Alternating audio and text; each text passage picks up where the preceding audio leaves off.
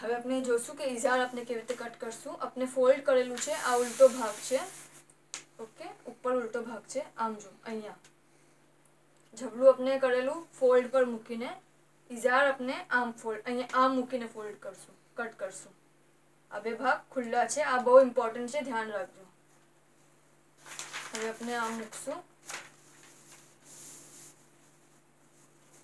આમ મૂકજો અને પિનઅપ કરીને અહીંયા ડ્રો કરીને કટ કરી લેજો તો બે ભાગ આવશે એક અને બે એમ બે ભાગ આવશે પછી સેમ વે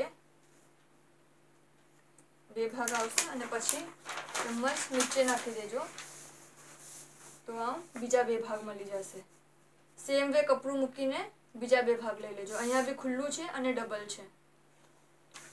ઓકે તો એમ ચાર ભાગ ઇઝારના નીકળશે. આ ઇઝારના આપના ફોર ભાગ્સ કટ થઈ ગયા છે.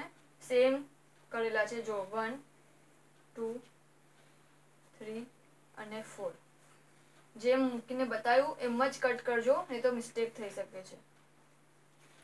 અને હવે આપની જે કલી છે ઇઝારનું આપણે ટ્રાયેંગલ કટ કરેલું, એમ એને આમ મૂકી દો. અને આમ પૂરું ટ્રાયેંગલમાં આપણાને બે પીસ જોશે. સેમ આવું. સો આમ ડબલ મૂકી દો. આ હુંડી સાઈડ છે ઉપર ઓલવેઝ આમ જ ફોલ્ડ કરશું. હુંડી સાઈડ ઉપર આવશે. ઓકે અને આમ મૂકીને કાપી લો તાકે બે પીસ આપણાને આવા કલી ના મળી જાય. આપને કલી કટ કરી લીધી છે. જો, બે સેમ પીસ સેમ એક જ જેવા છે. ઓકે બરાબર. હવે બે ચીજ આપણે ધ્યાનમાં રાખશું કે આપણને ઇઝાર માટે ઇલાસ્ટિક જોશે ચપટી ચપટી જે આવે છે ને, જો, આવી. આમ આમ વન ઇંચ હોવી જોઈએ અને વન મીટર જોશે વન મીટર લાગ. વન ઇંચનું ઇલાસ્ટિક જોશે આપણાને.